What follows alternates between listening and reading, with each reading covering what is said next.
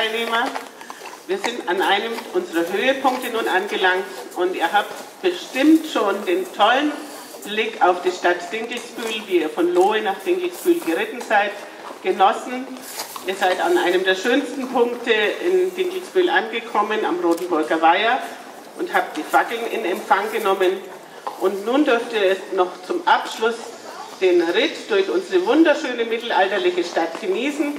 Und so wie das jetzt aussieht, scheinen alle Pferde ganz brav zu sein. Und da freue ich mich ganz besonders, dass so diszipliniert hier geritten wird. Ich übergebe nun zur Begrüßung an den Oberbürgermeister Dr. Christoph Hammer, der ein paar Worte zur Stadt sagen wird.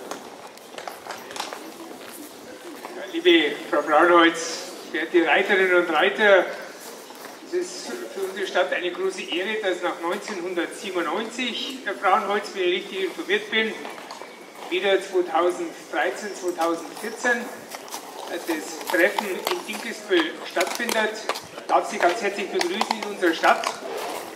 Ich äh, stelle allerdings fest, äh, Sie haben es nicht so wie der bayerische äh, Innenminister, der ist immer eine Viertelstunde zu spät gekommen. Sie sind zu früh gekommen. Deswegen kam ich zwar rechtzeitig, aber war dann letztendlich doch ein bisschen zu spät dran. Äh, es passt eigentlich ganz gut, dass Sie heute in Dinkelsbühl sind, weil wir haben heute ein weiteres Treffen in der Spitalanlage, nämlich die bayerischen Heimattage treffen sich zum ersten Mal in Dinkelsbühl. Und das, was Sie auch hier präsentieren und auch rüberbringen mit den Pferden und den Pferdenritten, ist letztendlich auch ein Bekenntnis zu unserer bayerischen und baden-württembergischen Heimat. Baden-Württembergisch auch deswegen, weil wir eigentlich Grenzlandgebiet sind. Deswegen darf ich die Baden-Württemberger ganz besonders begrüßen. Stelle fest, seid ihr die von drüben? Okay.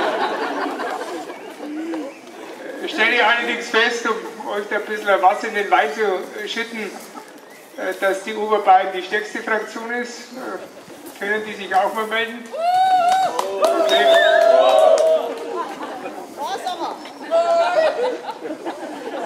Aber es ist auch Mittelfranken vertreten, glaube ich, oder? Ja!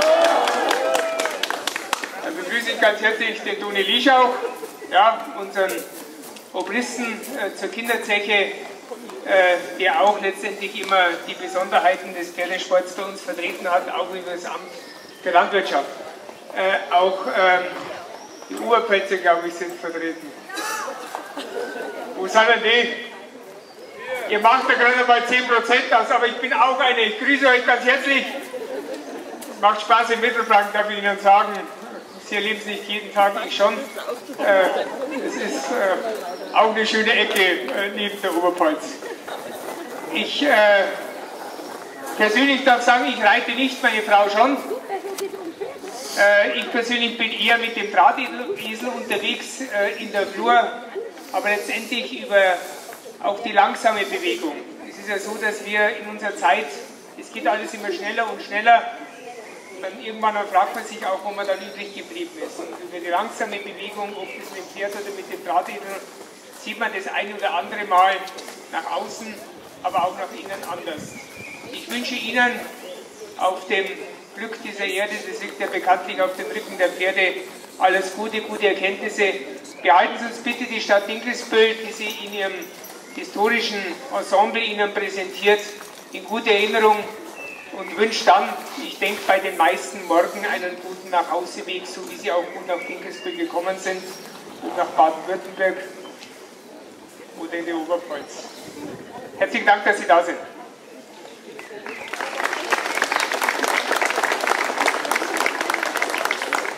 Vielen Dank, Herr Dr. Hammer, für die aufschlussreichen Worte über die bestimmten Gegenden und die Herkünfte.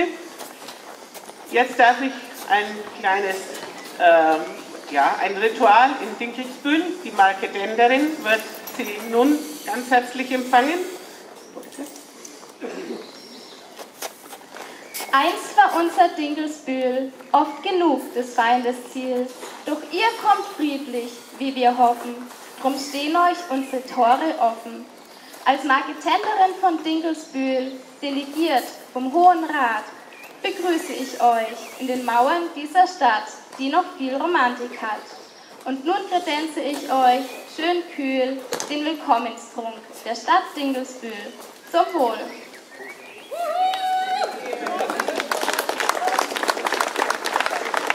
Okay, vielen Dank. Den Willkommenstrunk, der wird ein bisschen zu lange dauern, wenn wir den komplett hier rumreichen. Darum dürfen den nachher die Geehrten genießen. Deshalb auch der Name Reiten zwischen Main und Donau ist die Gruppe, die sich da zusammengeschlossen hat. So, wir fangen von dem dritten Platz an. Der dritte Platz, wir haben es genannt, der Präsidentenritt. Er wurde geführt von dem VfD äh, Landesvorsitzenden Dr. Dietmar Köster zusammen mit Jutta Poster, Hans Bachmeier, Luxi Schwarzer und noch jemand. Nein, der Dietmar war es noch, genau sind sie geritten über Genderkingen durch das Ries nach Dingelsbühl. Herzlichen Glückwunsch.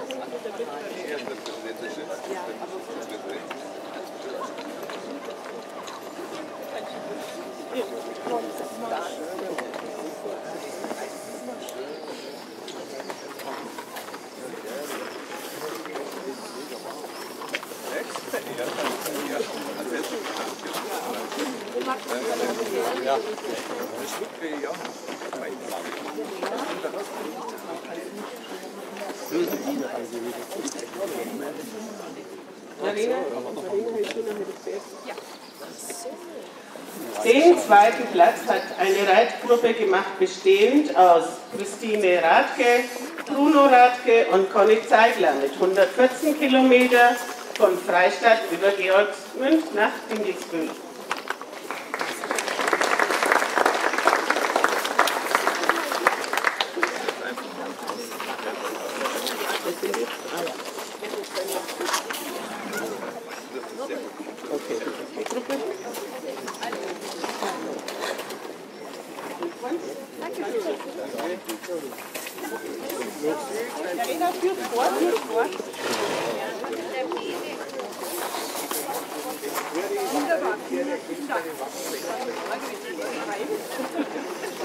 Gäste, sehr geehrter Herr Oberbürger und Bürgermeister Dr. Hammer.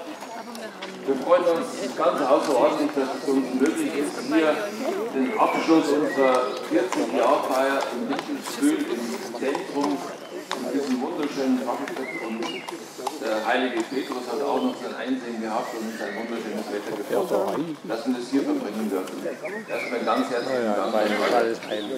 Ein Wort zur VfB, die Vereinigung der Freizeitreiter und Fahrer in Deutschland und hier der Landesverband Bayern, den gibt es schon seit 40 Jahren.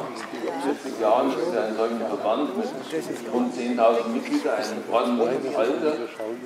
Wir haben uns immer eingesetzt für das freie Reiten und das ist auch heute noch genauso wichtig wie eh und je. Ich hatte erst das Vergnügen und wir müssen aber nach wie vor immer dagegen ankämpfen und weiterkämpfen. Ich hatte erst das Vergnügen mit dem Herrn Markus Söder zu sprechen und habe ihn gefragt, wie ist es denn noch mit der Pferdesteuer in Bayern? Und er sagt, ja Gottes Willen, ich würde mich ja nicht mehr nach Hause tragen dürfen. Meine Tochter reitet doch auch. Also ich glaube, wir leben hier immer noch auf einer Insel der Glückseligen, was die Reiterei angeht. Und wir wollen gerne das unsere dazu beitragen, dass es auch weiterhin so bleibt. Ganz besonders erwähnen möchte ich aber nun den Eugen Haas. Der Eugen Haas ist seit Beginn, also vor 40 Jahren, wurde ja der Bayerische Landesverband und der Bundesverband gegründet, war er dabei und ist heute auch zu uns gekommen mit seinem Pferd. Ich schaue gerade, wo er ist. Ah, hier kommt er ja schon. Eugen Haas, ein Gründungsmitglied der VfD und langjähriges Mitglied. Ganz herzlichen Dank, dass du gekommen bist.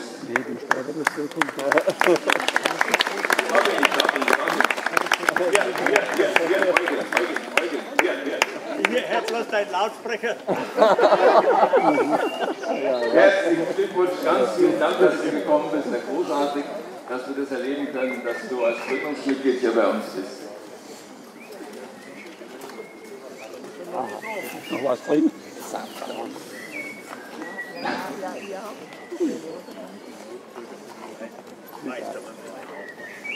Dann wünschen wir dir noch ganz viele Jahre viel Spaß mit den Pferden und wir freuen uns, dich noch oft zu sehen und gleich nächstes Jahr vielleicht wieder dann hier in Dinkelsbühl, dann wird es ja wieder sein. Ne? Ja. Ganz vielen Dank und ganz vielen Dank an alle und kommt wieder gut nach Hause. Dankeschön. In den Oh, ja, ja, danke. So, vielen Dank. Sieht man besser.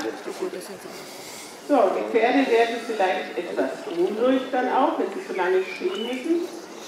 Es kommt aber noch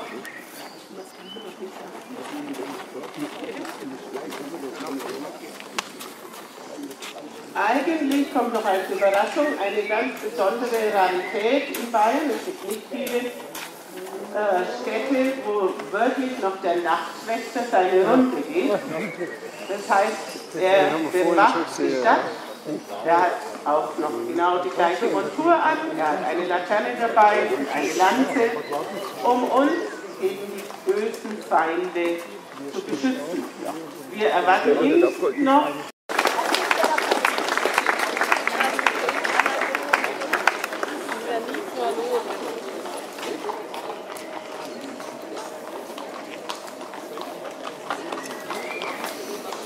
Okay.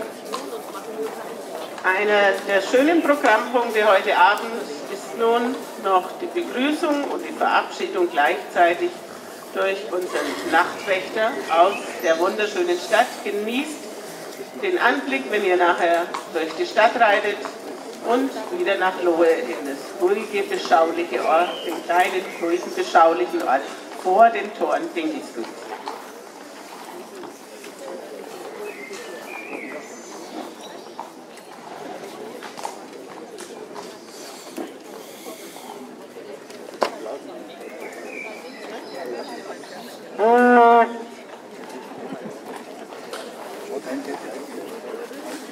Hört ihr Leute, lasst euch sagen, unsere Glock hat zehn geschlagen.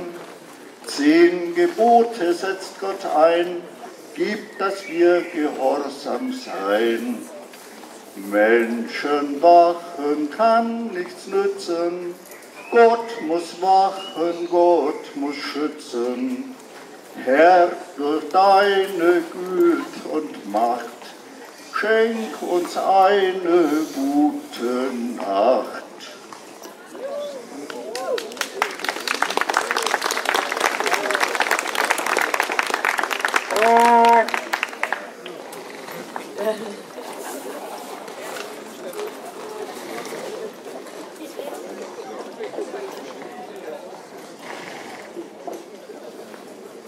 Ja, also vom Nachtwächter darf ich sagen, es ist eine Dinkelsbühler Besonderheit. Äh, der schließt dann bei uns auch immer ab. Schön wäre es, muss ich sagen, um 10 Uhr. Äh, die Leute bleiben trotzdem sitzen und machen uns dann immissionsschutzrechtliche, in Anführungszeichen, Probleme. Äh, und gehorchen dem Nachtwächter nicht. So war es früher anders. Ich darf nochmal Ihnen alle ein herzliches Dankeschön sagen, dass Sie den Ritt nach Dinkelsbühl auf sich genommen haben und sich in dieser wirklich wunderbaren Stadt zu treffen.